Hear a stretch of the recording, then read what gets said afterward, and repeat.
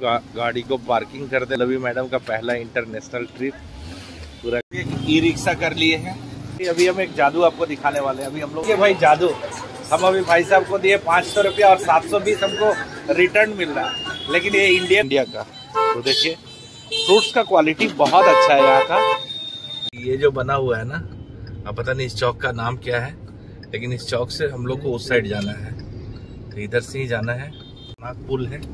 और ये देखो, पूरा पानी आ गया है। पूरा पानी है, बाप रे। बॉर्डर पे थोड़ा चेक हुआ और चेक होने के बाद अब हम लोग इंटर गए हैं नेपाल में और फाइनली भाई भंसार कट गया और ये भंसार का पीस है। तो दोस्तों तो आइए वेलकम है मेरे न्यू ब्लॉग में और आज का जो ब्लॉग है ना, वो नेशनल नहीं इंटरनेशनल ट्रिप है। और देखिए ड्राइविंग सीट पे अचिंत्या है और पीछे आज एक नया चेहरा देख रहे होंगे, कन्हैया जी। और साथ में, पल्लवी मैडम तो हम लोग आज जा रहे हैं नेशनल नहीं, इंटरनेशनल ट्रिप के लिए। और ये इंटरनेशनल ट्रिप कहाँ का होने वाला है? तो सीधे बॉर्डर पहुँचते हैं और आपको बताते हैं कहाँ जाएँगे। तो अभी हम लोग जा रहे हैं एन एच दो सौ सत्ताईस पे। फिर से सुरसंड होते हुए जयनगर तक जाती है। और हम लोग सुरसंड के बाद मिठा मोड़ बॉर्डर है। और मिठा मोड़ बॉर्डर से हम लोग जाएँगे नेपाल के जनकपुर और आज जनकपुर का पूरा वीडियो देखने वाले हैं। तो वीडियो में पूरा बने रहिएगा और यदि आप मेरे चैनल पे नए हैं तो जल्दी से सब्सक्राइब कर लीजिए। वीडियो को लाइक कीजिएगा शेयर कीजिएगा कमेंट कीजिएगा। आज का वीडियो बहुत ही मज़ेदार होने वाला है और बहुत आ है हैं मोड़ बॉर्डर पे। और ये मीठा मोड़ ऐसा कुछ है। आप मीठा मोड़ कैसे पहुँचेंगे? मैं गाड़ी से उतर के आपको पूरा डिटेल्स बताता हूँ। आप देख रहे होंगे, यहाँ से सीतामढ़ी 40 किलोमीटर है। चकिया और ये हम लोग राइड जाएँगे जनकपुर के लिए। तो ये मीठा मोड़ बॉर्डर है और यहीं से आप जनकपुर जा सकते हैं। सबसे करीब बॉर्डर है इंडिया और नेपाल के बीच में। मिडिल बॉर्डर है भाई। लेकिन यहाँ फ़ोटो वोटो नहीं खींचना है। तो हम ऐसे बना ले रहे हैं। तो अभी हम लोग इंडिया बॉर्डर इन किए हैं मीठा मोड़ से। और यहाँ पे जो चेक पोस्ट है एसएसबी का वहाँ पे अपना गाड़ी का एंट्री कराना पड़ता है। और यदि आप अपने पर्सनल गाड़ी से आए हैं तो। और उसका एंट्री करने के बाद अब हम लोग नेपाल बॉर्डर में इन करेंगे, वहाँ से भंसार कटेगा। ये हम लोग इंडिया नेपाल के बॉर्डर पे इन कर गए हैं। और आगे नेपाल बॉर्डर है। और वहीं पे भंसार वगैरह कटेगा। भंसार एक्चुअली एक तरह का शुल्क है। जो डेली बेसिस पे लगता है, कितना लगता है, वो मैं आपको बताऊँगा वहाँ पे कटने के बाद। और वैसे मेरा एक वीडियो है जिसमें ऑलरेडी दिया गया है। तो आप देख सकते हैं डिस्क्रिप्शन में। ये देखिए, कुछ इंडिया नेपाल का बॉर्डर है। इस तरह का है। यहीं पे गाड़ियाँ खड़ी हैं और यहीं पे भंसार कटेगा। ऑर्डर इन करने के बाद अभी हम जा रहे हैं भंसार कटाने। और भंसार यहीं बाहर में सामने इधर दुकान है। इधर ही कटता है। तो देखते हैं कहाँ पे कटता है। यहाँ इस दुकान के पास आने के बाद ये का, कागज़ पे लिख के दिए हैं और इसको कंप्यूटर में पहले एंट्री कराना पड़ेगा और उसके बाद फिर भंसार कटेगा। सर कार्यालय में है और यहाँ पे इंडियन नोट एक्सेप्ट नहीं करते हैं तो अभी एक्सचेंज करने के लिए भेजे हुए हैं। फाइनली भाई भंसार कट गया और ये भंसार का पीस है। और भंसार जब आप कटाने आते हैं ना तो आप नोट एक्सचेंज करा के आइए, क्योंकि यहाँ पे इंडियन नोट एक्सचेंज एक्सेप्ट नहीं होता है। और इधर आसपास में जो नोट है ना, वो लोग थोड़ा कम देता है। वैसे इंडिया का एक रुपया का एक रुपया साठ पैसा होता है। पाँच सौ देंगे तो आठ सौ देना चाहिए, लेकिन हम लोगों को यहाँ पे बार्गेनिंग करके सात सौ अस्सी रुपये ही दिया तो थोड़ा लॉस हो जाएगा। ज़्यादा नहीं है हम लोग को तो इसलिए फ़र्क नहीं पड़ता। लेकिन यदि आपको ज़्यादा एक्सचेंज कराना है तो फिर यहाँ पर प्रॉब्लम होगा। तो आप लोकल जो ऑथराइज एक्सचेंज है, उससे आप एक्सचेंज कराइए। और भंसार का जो प्रोसेस है, वो यहाँ पे आप पहले आप देंगे तो टोकन काट के देगा। उसके बाद फिर एक नंबर काउंटर पे जाना है, जो बीच में है। और उसके बाद फिर राइट साइड में कैश काउंटर में जाके पैसा जमा करेंगे, फिर थर्ड काउंटर में जाएँगे। तो आपको पूरा ये भंसार का पेपर बना के देंगे। आरसी बुक लेके जाना है डीएल अपना साथ में रखना है। अब जनकपुर ले जाने के लिए तैयार है। और ये बॉर्डर है। यहीं से हम लोग इन करेंगे और यहाँ से 20 किलोमीटर है जनकपुर। बॉर्डर पे थोड़ा चेक हुआ और चेक होने के बाद अब हम लोग इन कर गए हैं नेपाल में और यहाँ से फिर नेटवर्क का भी दिक्कत हो जाएगा। टावर नहीं लगता इंडियन इंडियन नेटवर्क काम नहीं करेगा। तो यहाँ का सिम ले सकते हैं, लेकिन हम लोग तुरंत जाके वापस आ जाएँगे तो इसलिए सिम वगैरह ले नहीं रहे हैं। तो ये नेपाल में हम लोग इंटर कर गए हैं। ये बहुत सारी जगहों का बस लगा हुआ है। ये नेपाल का ऐसा सीन है।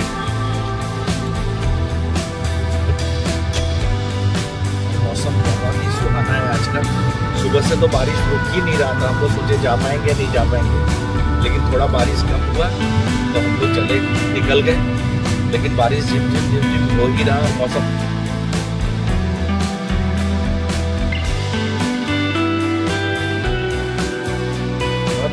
पहला बार क्यों जाना एक्साइटेड है। थोड़ा थोड़ा तो लगता ही है ना। और कन्हैया जी, आप कितना मर गए हैं? और इधर तो एक्साइटेड है। पहला विदेश ट्रिप चलो, नेपाल से शुरू हुआ, लेकिन अब आने वाले समय बहुत सारे विदेश ट्रिप आएँगे हम लोग का। बहुत सारा हम लोग का प्लानिंग है। तो देखते हैं, आप लोग का साथ मिला तो ज़रूर पूरा दुनिया हम लोग घूमेंगे एक साथ। और भाई, कुछ भी बोलो, लोग बोलता है, नेपाल में पासपोर्ट नहीं लगता है, लेकिन विदेश जैसा फीलिंग्स तो आ ही जाता है। अभी यहाँ पे बॉर्डर पे आए तो हम लोग एकदम इंडिया इंडियन स्टाइल में फ्री होके हम आए। तो वहाँ पे गए तो बहुत सारा नियम कानून है जो यहाँ के हिसाब से है। अब नोट एक्सचेंज में है, वहाँ पे इंडियन नोट एक्सचेंज लेते नहीं है तो नोट एक्सचेंज कराना पड़ा। तो सबसे पहले मैं आपको भंसार के, का नियम बता दूँ। जो भंसार है ना बॉर्डर में, वो रात 10 बजे तक लागू होता है। मतलब आपको यदि आप आज अभी भंसार कटा रहे हैं और रात को आठ बजे तक भंसार लास्ट कटता है तो आठ बजे भी यदि रात में कटाएँगे ना तो आपको छह सौ रुपया लगेगा और 10 बजे के अंदर आना है। वो एक एक दिन का पूरा लग जाता है। तो टेन टू टेन है भंसार का टाइमिंग ये दिखा सकता हूँ कि कहाँ क्या है। लेकिन जनकपुर 16 किलोमीटर है, बर्दीवास बर्दीवास यहाँ से 48 किलोमीटर है और ढकेश्वर 38 किलोमीटर बर्दीवास के बारे में बहुत सुनाऊ वहाँ से बर्दीवास से ही काठमांडू वगैरह का जो रास्ता है ना, वो सारा जाता है नेपाल का पेट्रोल पंप जिस तरह का है। और बकरी तो सब जगह का एक ही जैसा होता है, रोड पे आ ही जाता है। लेकिन बहुत बहुत नीट एंड क्लीन लग रहा है भाई।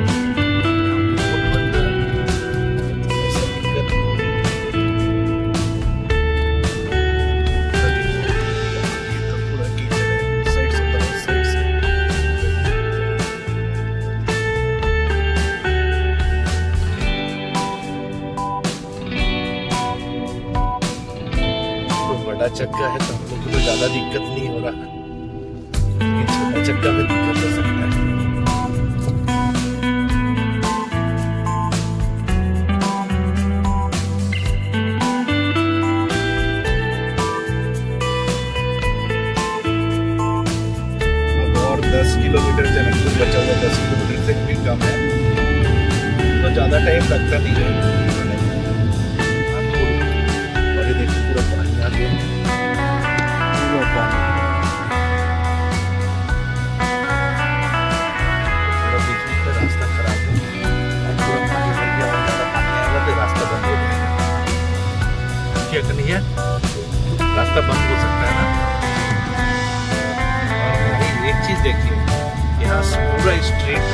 हुआ है और सारा सोलर से लगा हुआ है। स्ट्रीट लाइट ये देखिए।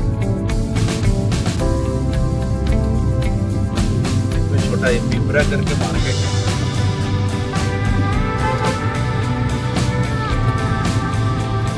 भाई अचिंत्य सिर्फ़ इंडिया नहीं फॉरेन में भी गाड़ी चलाता है। ये देख लीजिए। इंटरनेशनल ड्राइवर हो गया आज के डेट में एक्सपर्ट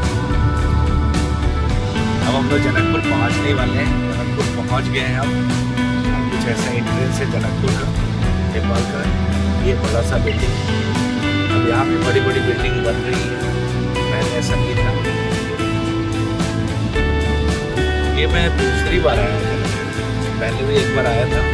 क्योंकि यहाँ मेरी बुआ भी रहती है। लेकिन अभी वो लोग गई हुई है। तो मिल नहीं पाएँगे।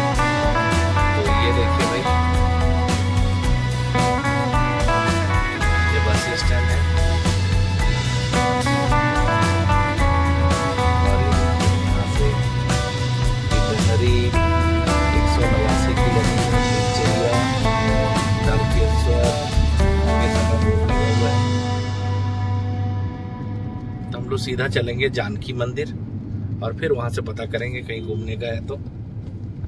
जाएँगे। और ये कोई चौक है, जनकपुर का।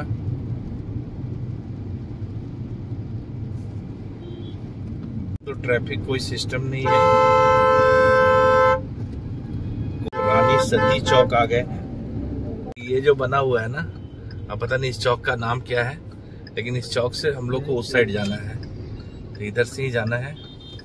देखिए, गाड़ी आ रही है। भाई ट्रैफ़िक का कोई समझ में नहीं आ रहा क्या है। तो जाओ, बस जाने दो। किधर से आएगा किधर से और जाएगा। कोई पता नहीं। कोई ट्रैफ़िक नहीं। हम लोग भी गलत घुस रहे हैं। और विदेश का बात है भाई। उधर से घूम के आना चाहिए था हम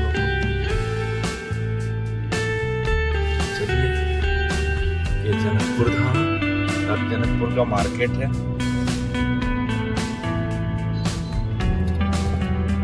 और मेरे को लगता है पूरे वर्ल्ड में पीला बस ही चलता है क्या स्कूल बस पता नहीं इंडिया और यहाँ तो दिख रहा है, नेपाल। में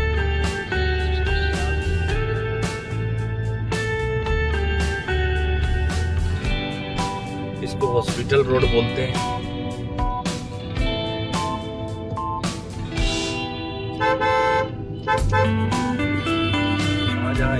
आ गया ना तो रोड पे तो भेड़िया दसान हो गया ई रिक्शा हर शहर में इंडिया, नेपाल में तो खास करके।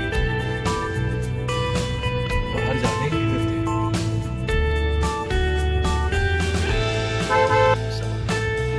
एक साथ चार चार। और आदमी से ज़्यादा मेरे को ई रिक्शा ही लग रहा है यहाँ। कोई तालाब है?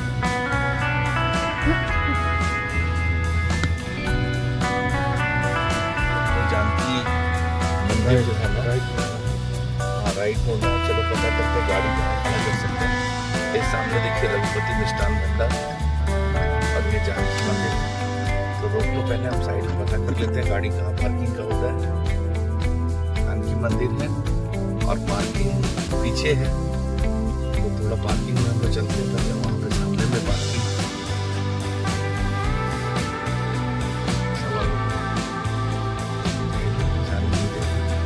गाड़ी को पार्किंग कर दे रहे हैं हम लोग।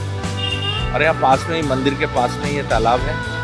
और यहाँ पे सामने में मंदिर है। और ये देखिए, पल्लवी मैडम का पहला इंटरनेशनल ट्रिप पूरा खुश है एकदम। बम बम बोले बोले और यहाँ पे तालाब में ना बहुत सारा मछली है। पानी थोड़ा गंदा है, इसलिए दिख नहीं रहा। लेकिन मछलियाँ बहुत सारी है। हम लोग को विजुअल आँख से दिख रहा है। तो यहाँ एक लाइन से देखिए, फ्रूट्स का दुकान है। सेब कैसे है, मैडम? दो सौ नेपाली। और आम? सौ का डेढ़ किलो। अनार? साढ़े तीन सौ का। तो ये नेपाली है। और ये सेब देखिए अच्छा सेब है। ये सेब क्या रेट है? एक सौ बीस का किलो। नौ तीन सौ का। तो आप लोग इंडियन नोट लेते हैं? हाँ हाँ। इंडियन लेते हैं। इंडियन क्या रेट पड़ेगा ये? दो सौ पड़ेगा। दो सौ रेट पड़ेगा। तो सेब बहुत अच्छा है। हम लोग आते हैं मंदिर से तो खरीदेंगे। हाँ। इंडिया का। तो देखिए फ्रूट्स का क्वालिटी बहुत अच्छा है यहाँ का। रियली बहुत अच्छा क्वालिटी का फ्रूट्स है सेब वगैरह। ये देखिए। बहुत अच्छा क्वालिटी है।